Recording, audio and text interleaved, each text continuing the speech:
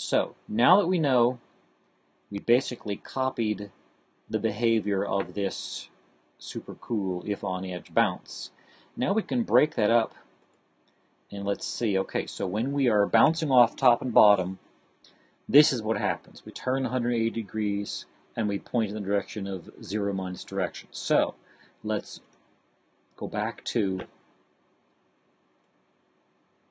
if touching paddle.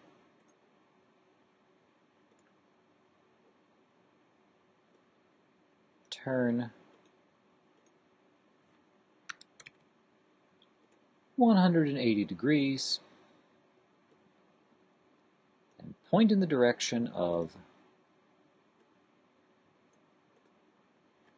0 minus current direction. Now let's see if our paddle, fire the spacebar, can make it bounce. Let's see. Catch it. Boom. We got it. Okay. All right. Uh, my sense of play suggests that that paddle should be just a little bit wider. So I'm going to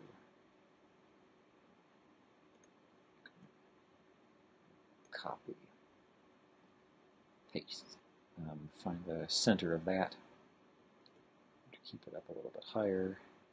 That looks pretty good. Okay, so what we got now? Boom. Got it? Yes, we got it. Hooray, look at that. Okay. Now, yeah, that's good. You the ball because the ball's moving. All right, good. Hey, fun. I'm spending too much time playing with this instead of um, running through what I want to do next. Okay, um, now there's got to be a point to this. Uh, we can at least let's add.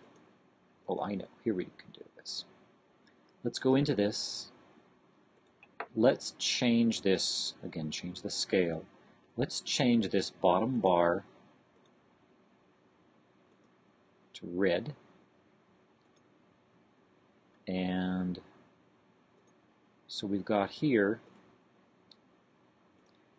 we know this block runs when the ball is touching the top and bottom, either the top or the bottom. So let's say um,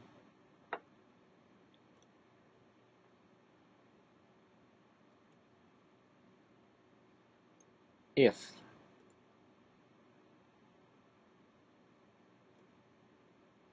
touching color, and let's get that color red. Um,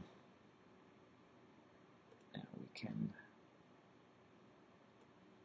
say Yeah, look at this. I, I hit the space bar and it, it fired my ball. So let's stop that. There we go. All right. So, I think this is probably pretty obvious what's happening. And, yep, okay. So, this, if touching color red, got triggered. Oh, and it waited for five seconds, and then it continued playing. Well, I, I ought to have something that says um, that stops it. So let's see. Uh, okay, let's try this.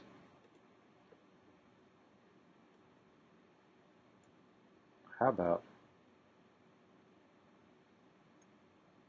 repeat until touching color red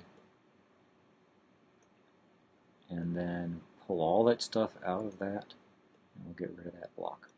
Okay, so let's see if that works. Okay, and it should not pick up again. Okay, all right, so let's walk through what this game does.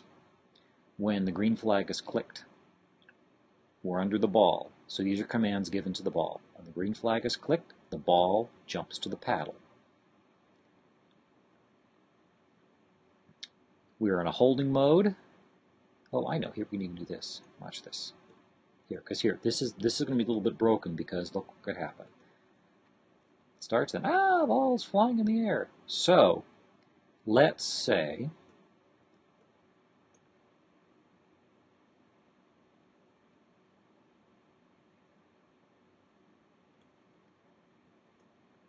repeat until space key pressed. Oops, break that out. Go to paddle. break that out. Okay, so we'll be in two modes.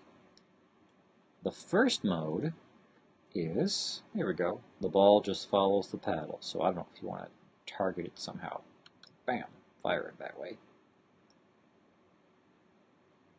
bouncing off the walls, off the ceiling, off the floor, and let's kill it. Game over. Okay, let's get a, let's get hey, how about this? Let's get a little bit of emotional involvement in here. Instead of game over, how about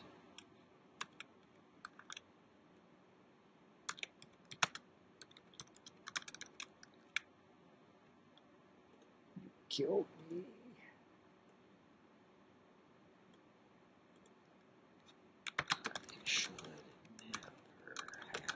trusted you.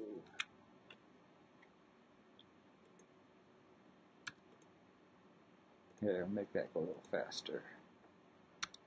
All right. Let's get a little emotional involvement here now. There we go. You killed me.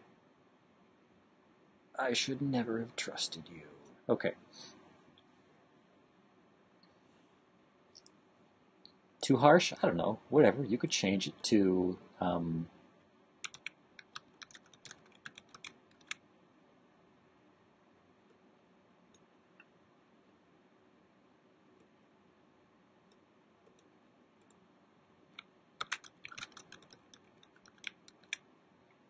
go. If that was too dark for you, here we go. Let's try again. I love rainbows. All right, well, we need something for this ball to fire at. So let's get a new sprite and let's paint ourselves a brick. You can get a nice bricky color if you'd like. Uh, let's get, switch this color here, make that a little bit lighter, a bricky color.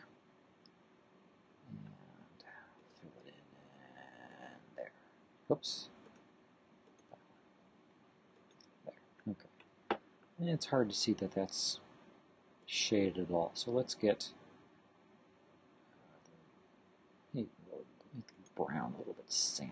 Sort of. Yeah. Well, then, then this should be lighter.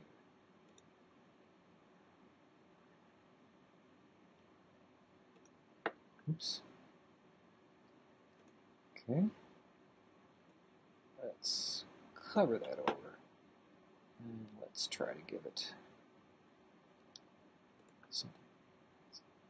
Ah, whatever. It looks kind of like a brick.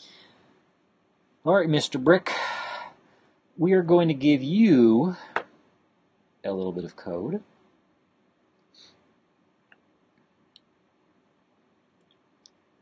Uh, let's see. We're going to make the brick disappear when the ball hits it. So, we'll do if touching ball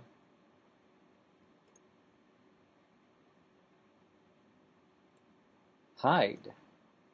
And then we have to remember when we start it, we'll show it.